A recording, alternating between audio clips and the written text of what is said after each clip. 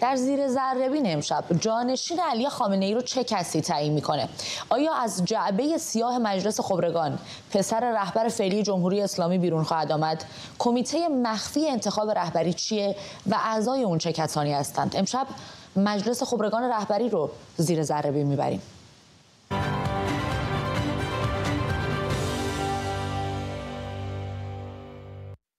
درست 39 روز دیگه یعنی 29 فروردین 1402 علی خامنه ای 85 ساله میشه.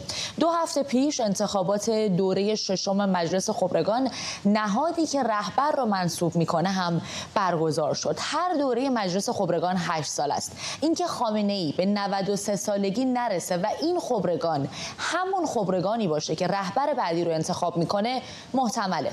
نکته ای که خامنه ای همین چند روز پیش بهش تاکید کرد. خب مجلس خبرگان مهمترین کار رو در واقع بر عهده داره.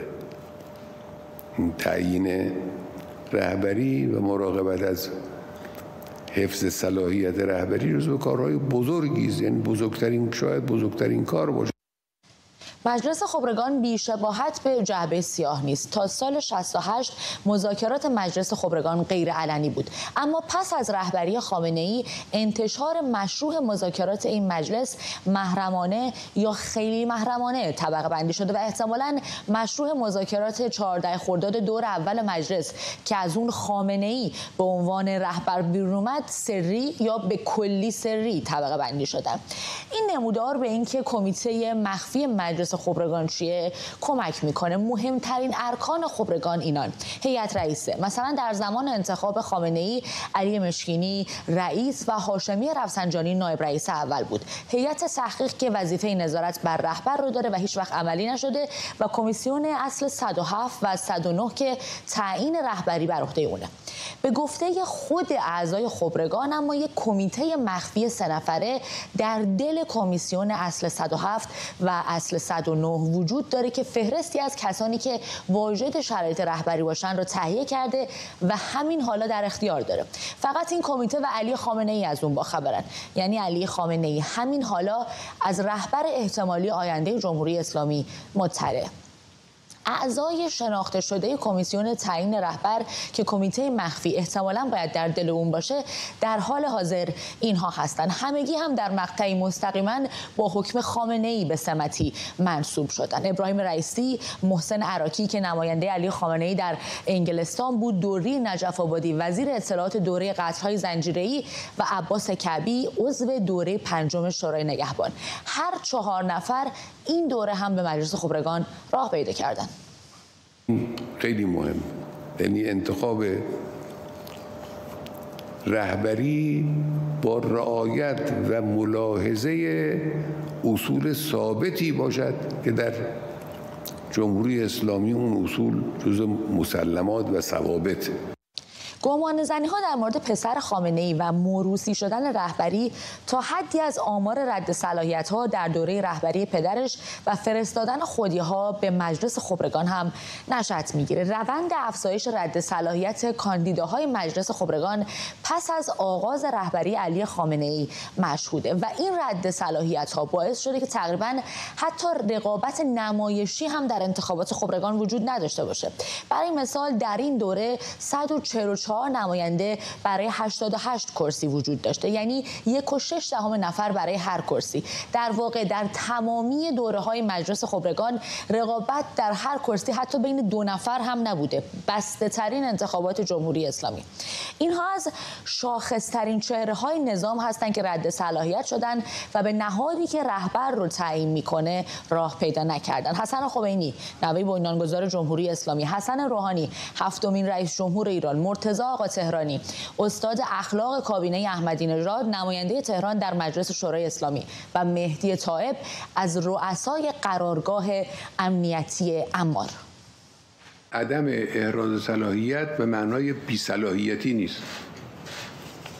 عدم احراز صلاحیت معناش این است که شورای نگهبان نتوانست تشخیص بده که این آقا صلاحیت داره. برای نشون دادن اینکه مجلس خبرگان مجلسی فرمایشی است نیازی به عدد و رقم نیست.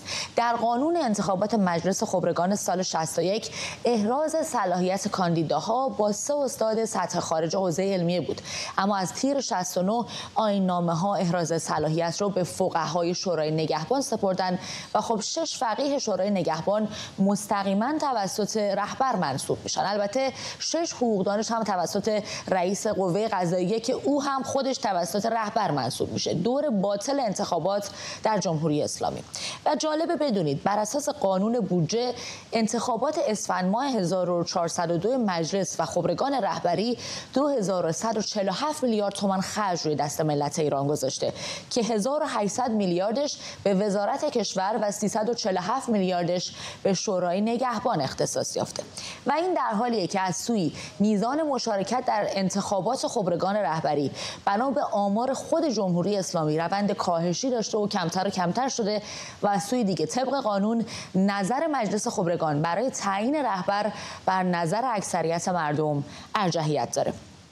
مقایسه مجلس خبرگانی که خامنه ای رو انتخاب کرد با مجلس خبرگان ششم نشان دهنده اینه که راه یافتگان جدید در مجموع هم بی تجربه ترن هم جوانتر و هم وابسته تر برای مثال از نمایندگان تهران دوره اول خبرگان 86 درصد سابقه اجرایی در کشور داشتند در حالی که فقط 56 درصد از نمایندگان فعلی در مجلس خبرگان سابقه اجرایی دارن همین خبرگان ششم.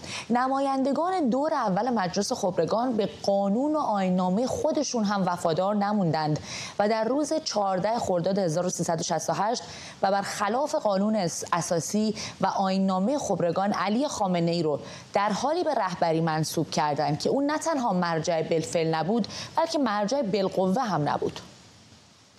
حالا غیر از اینکه خود من حقیقتا لایق این مقام نیستم و این رو بنده می‌دونم شاید آقایونم می‌دونید اصلا از لحاظ فنی اشکال پیدا می‌کنه این قضیه. رهبری رهبری سوری خواهد بود نه رهبری واقعی. خب من نه از لحاظ قانون اساسی و نه از لحاظ شرعی برای بسیاری از آقایون حرفم حجیت حرف رهبر رو نداره. این چه رهبری خواهد بود؟ انتخاب علی خامنه ای به عنوان جانشین روحالله خمینی. حتی به اعتراف خود او غیر قانونی بود.